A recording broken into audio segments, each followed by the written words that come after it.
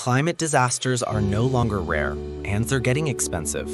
A new report, Counting the Cost 2025, shows that the 10 costliest climate disasters this year cost over $122 billion in damage worldwide.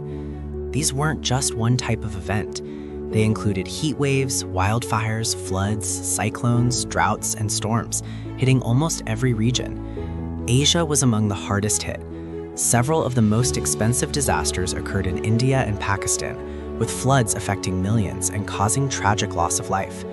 The United States also saw massive losses, especially from wildfires in California, some of the costliest events of the year.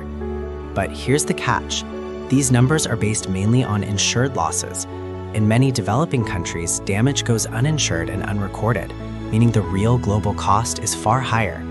And beyond money, the human cost is severe lives lost, families displaced, livelihoods destroyed. The takeaway is clear climate change isn't just an environmental issue, it's a growing economic and social crisis. The longer action is delayed, the higher the price everyone pays. Should governments invest more in climate adaptation now, or keep paying higher disaster costs later? Drop your thoughts in the comments. Follow us for more insights.